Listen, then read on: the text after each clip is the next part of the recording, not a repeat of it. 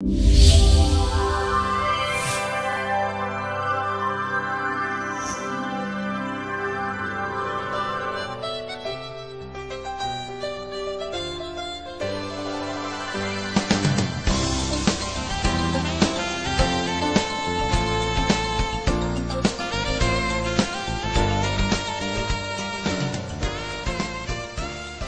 I'm Cristina Rodlo, and we're here with Magic Image Hollywood Magazine.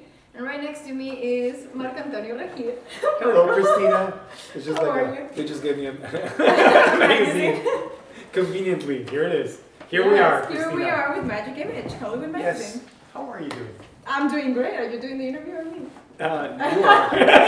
it's just my this is my TV host uh, instinct. if So you stay quiet, I'll ask you something. I'll. Okay. So, talking about your TV host, tell us a little bit about yourself so that people can know a little bit more about Marco Antonio Thank you. Well, it's been uh, 26 years since I began my career. When I was uh, 14 years old in a radio station in Ciudad Obregón, a small town in, in Mexico. I did radio there for a few years. Then I went to Tijuana, then did local TV there, and then went to Mhm. Mexico City. And that's where I started after 12 years of, of doing radio, cable, local TV, national radio. Then I got my first big break back in 1997 doing The Price is Right which was a very, very successful uh, game show back there. We did the Family Feud. I used to than a fifth grader. Uh, a couple of seasons of Dancing with the Stars, uh, the Telethon, Miss Mexico, and many, many other other shows. So between Mexico City and Miami, I, I, I basically working with Televisa and with Univision, basically built my career doing doing what I love. How hard it was for you to get your first job as a professional in Televisa? On TV, well, it took me 12 years, which I think it was beautiful. You knocked doors Oh. many times in Oh, Televisa my. and they rejected you, or That's a long story. I'm, I'm, not, I'm not writing a book about it. As a matter of fact. it's true. Okay. It's going to be published by the end of the year. But, uh, well, I met Emilio Azcárraga and Jose Baston, who are nowadays the president and uh, the president of production in, in, in Televisa, when I was working in radio in Tijuana. So it was actually, um, I've been really fortunate because I've seen the universe working and, and, and giving me the opportunities that I And- always wanted. Mhm. And uh, one day I was hosting a, a local event in Tijuana for a radio station, and they were there, and they saw me, and they offered me a job on the local channel, and that's where they they were themselves being trained to then later on work on the network in Mexico. So I started working with them there, and then when they went to Mexico, I, I went to Mexico City too, and I started working in radio, and then Raúl Velasco, who used to be the number one producer in, in Televisa, the number one producer of musicals and, Yeah. and pageants and shows, uh, saw me working in another little event, and he gave me my first break on international tele- uh, television. And then after that, when Emilio and Pepe got to a, a power position, when, yeah. when the father passed away and Emilio became the president of Televisa, that's when they brought the Price is Right to Mexico, and uh, they called me directly. There was no casting, but we've known each other for many years. So yes, I, I did knock a, a lot of a lot of doors, and the funny thing is, the ones that that really opened were the ones that really Won it. I, well, I didn't really knock on their doors. It was just um, the, the universe unfolding things for me. Yeah. But I did try many other many other places. It's just it's just been a it's been 26 years. So we don't we It, it has been an amazing story, and you enjoy life. Yeah, I enjoy life a lot. You've In been in Mexico, then you went to Miami. Miami, I worked there. We were doing the family feud in Miami, and then I decided I I mean, I, mean I, I knew that from the beginning, but I really made the decision of coming to Los Angeles. I went to Arizona first because I wanted to learn English, and Miami was not helping me to learn the language.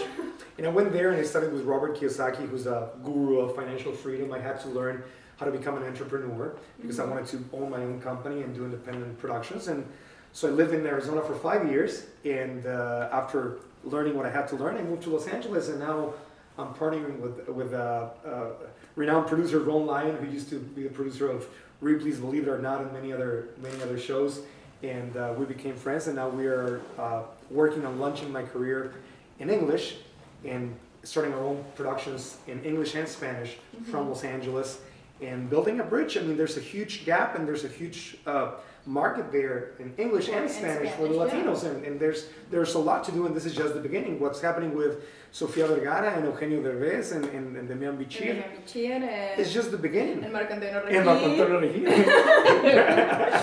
yeah, and I'm really happy for them because, it, my God, they deserve it so much, and I'm so happy for them. But there's a lot, a lot to do. I mean, there's, there's yeah, and there's more people, and the, the market is getting bigger and bigger for, for the Latinos, Yeah. and people are starting to see that it's not just the maids or the, Yeah. the typical roles that Yeah. Latinos used to get. Now No. we're getting the big picture like Yeah. everyone else. You know? And it's changing, and, and not all the market watches uh, soap operas. I mean, the first generation barely consumes those things, but there's a lot of people like you and I that watch English-speaking television too, and uh, and we're not soap opera consumers. We're main movie consumers and uh, main drama and game shows and reality shows consumers. So there's there's a huge market, but it's, it's, it's you know, a step at a time, little by little. Yeah. Uh, gradually, we're getting there, and this is this is just the beginning. So it's a great timing for for people like you and me and many others to, to be here and, and grow with, with this country where the Latino population is is getting bigger and bigger. Bigger and bigger. So how was your shift from going to Mexico to Miami and then going to Arizona, which Yeah. is nothing there. So being in two crazy cities Yeah. and going to a place that is the whole opposite. That's a really good question that my friends thought I was crazy. They were like, what are you going to do there? It's in the middle of the desert and people don't like Mexicans there. They're really racist. And, and what I found in Arizona was, was amazing teachings. I, Arizona is a state, yeah, it is very conservative. Mhm. And I'm not going to lie, there is a lot of people that don't like Latinos and they're afraid. They've been, they, they, they bought this story that Latinos are the enemies and, and they're really, what they're really is afraid of losing their country, losing their language, which is a misconception, is, is, a, is, a, is, a, is not a reality, but that's what they, they, they've been taught and they believe it. Mhm. And, but I also found a lot of people who are amazingly open-minded and they're great entrepreneurs. Mhm. The lessons that I learned in Arizona were very powerful because Arizona is a very entrepreneurial state. So if you want to learn to be a business owner, it's a great place to be. And I was there for five years. It wouldn't be the place I stayed for the rest Five of my years. life. Oh, yeah, for five years. And the thing is that this this this industry is called is called show business. Mhm. So I knew about the show, but I had to learn about, About the the business. business. So Okay. before coming to Los Angeles, not only I had to learn the language, but I had to learn how to be an entrepreneur. And now I can say, well, I'm a I'm still a TV host, and I'll be a TV host all of my life. But I really look forward to, with my dear partner Ron Lyon, to become uh, a producer and to learn from him. But I understand the concept of creating products, creating intellectual property, doing partnerships, doing joint ventures, and and and, i and I truly believe that there's a huge market, not only in the Latino uh, market, but there's a huge uh, opportunity to create products that could be very entertaining, very fun to watch, but that will also bring uh, an opportunity for a higher level of awareness to the population. And I mean, it's not new. Oprah did it. She's Mhm. by far the master. Ellen DeGeneres is doing it, and there's other shows doing it. But but I think there's room for more, and that's what I want to do. I want to I want to I want to produce content that brings something to the people. Something people need to get better. I mean, the, financially, spiritually, health health wise. I mean, there's so many so many things that we can share in a fun way that would Mhm. bring value to To- to people, and that's that's my dream. I mean, I'm, I I I believe that you can do both things at the same time: be entertaining Mhm. and, and and bring bring some value, some deepness into some tools to the people. Saying that, I'm gonna get a little bit more political, I would say. I don't know if that's the correct word. For what you want, Uh-huh. you want to entertain and you want also to give a message to Yeah. the people and not just being entertaining for being entertaining, Yeah. being entertaining with a message, Yeah. With meaning. with a meaning. Yeah. So, for me, Televisa Yeah. has a big open channel for the whole for millions and millions of people and given your experience do you think televisa has that message gives that message that they should give to the people in mexico or what was your experience I think there's, it's a great question. I think there's a, there's a great opportunity for improvement. Okay. Uh, there's people that believe that TV is a reflection of what happens in the world, and there's people that believe that TV is this evil box that creates this uh, lack of education in the world. So Mhm. I'm one of the ones that believe that it's actually both ways.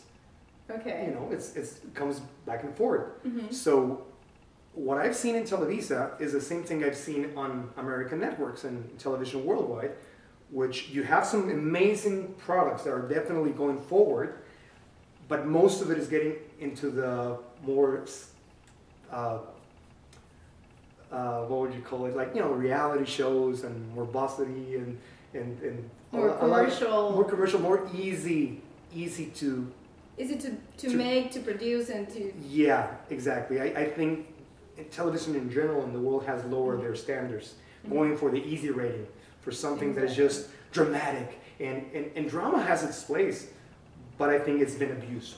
So it's just like a pendulum, right? Goes to one, one side and then comes back to the other. So there's an opportunity for some balance. It can be commercial, it can be very entertaining, but it's, uh, there's a great opportunity for bringing some tools to people in a, in a moment where most of the people in the world have fallen into this survival mode where they need money, they need to They- survive. exactly. And when you need to survive, you cannot really manifest your dreams. Mhm. So if you don't bring some tools for people to get in, back in their power, and, I mean, this country was created from, uh, you know, by entrepreneurs.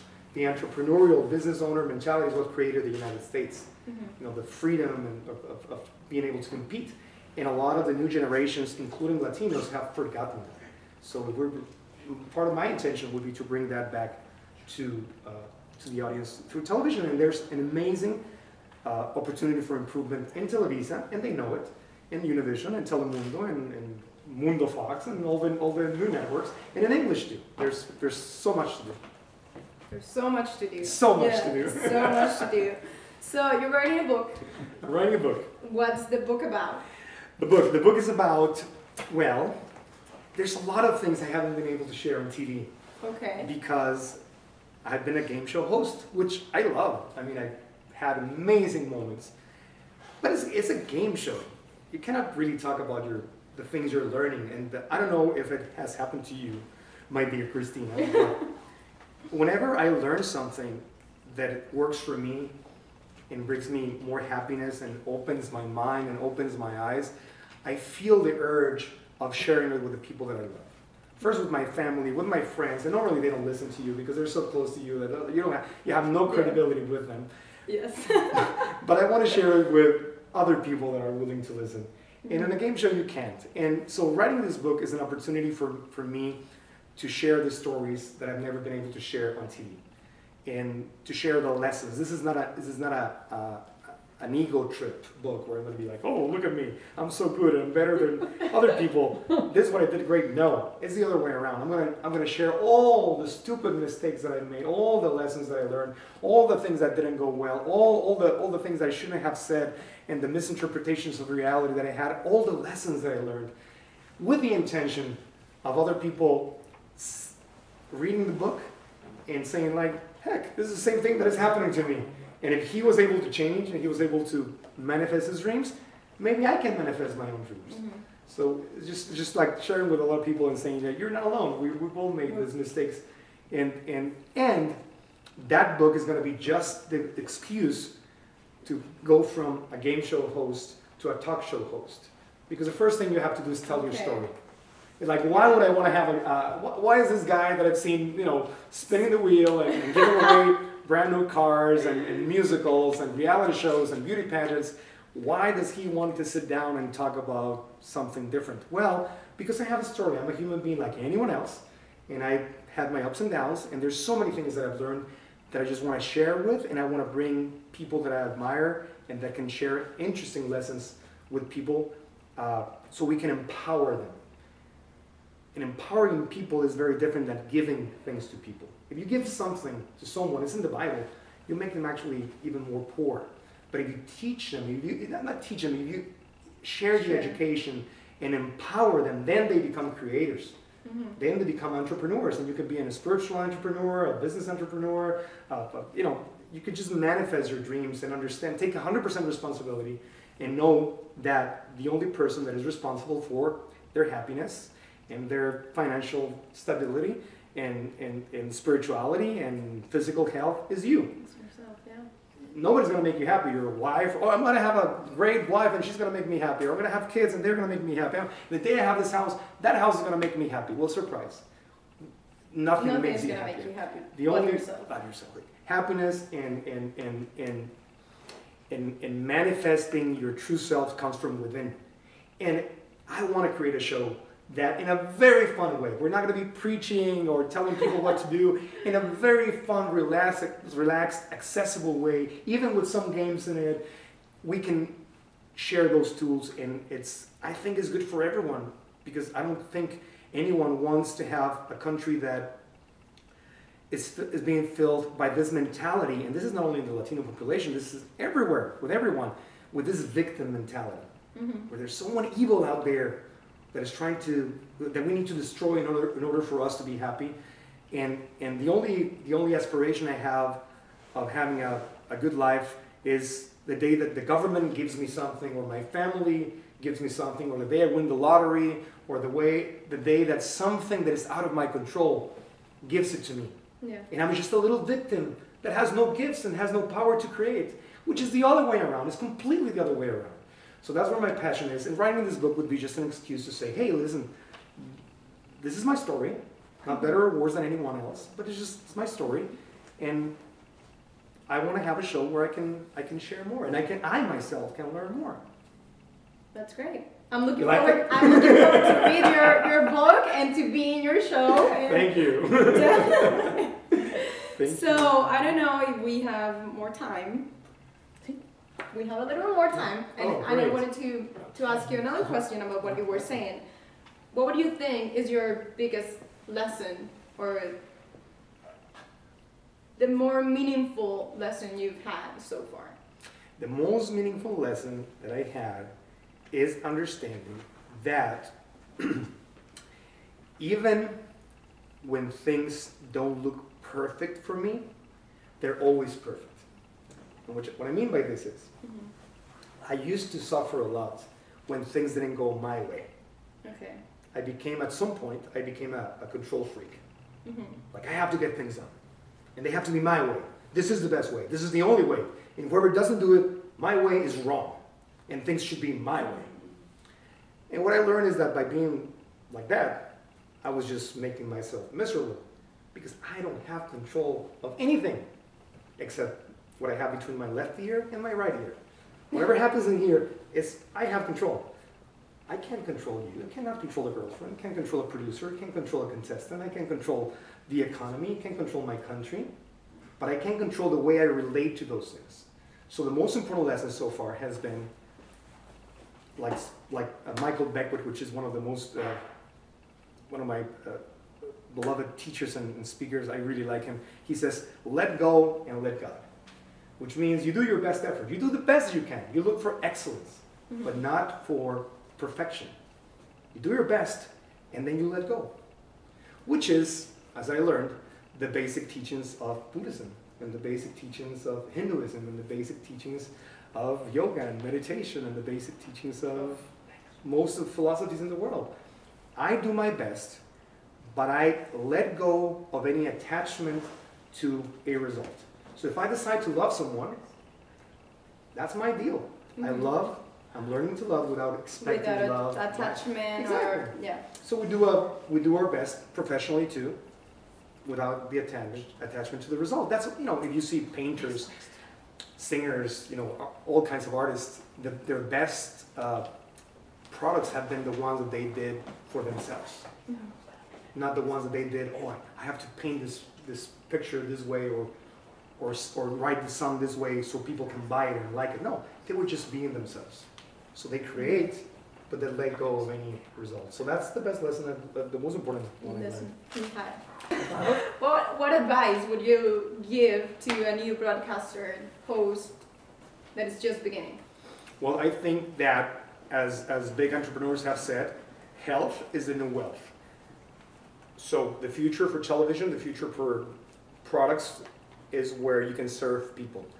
People need to live healthier lives, mentally, emotionally, financially, uh, and if you can provide some of that, that would be that would be amazing. And there's there's many many many things to do. I think that's a really powerful tool, and uh, I think in the, in the in U.S. television we do it not because I'm Latino. I mean, it's just I think it's just a reality. I would say this even if I was Caucasian.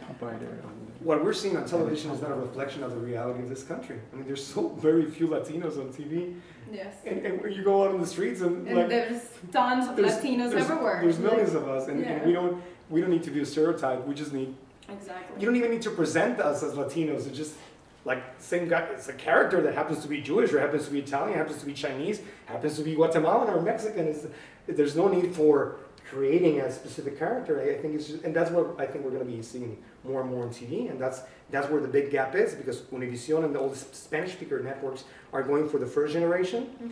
but the second and third generation, people like you and I, are not really having a lot of attention on the English-speaking networks. I think that's there's there's a big opportunity there.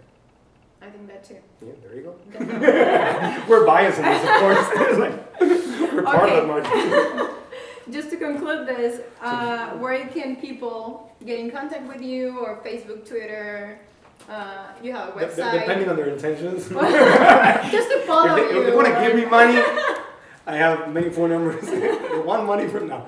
Uh, we have a website. We have two websites. One's called uh, Regil, R-E-G-I-L, dot TV. That's for production purposes. And there's an email there if you want to contact us. And we're building another one called livingwithmarco.com. That's in that's in the works, and that's like my that's like my pre-book where we I talk about yoga and veganism and meditation and all the things that I'm really into. So, and on Facebook, Marco Antonio Regil, but yeah, for the business purpose, regil.tv. Regil.tv. Yeah, I like the way you say Regil. Regil. yeah, there you go. Good.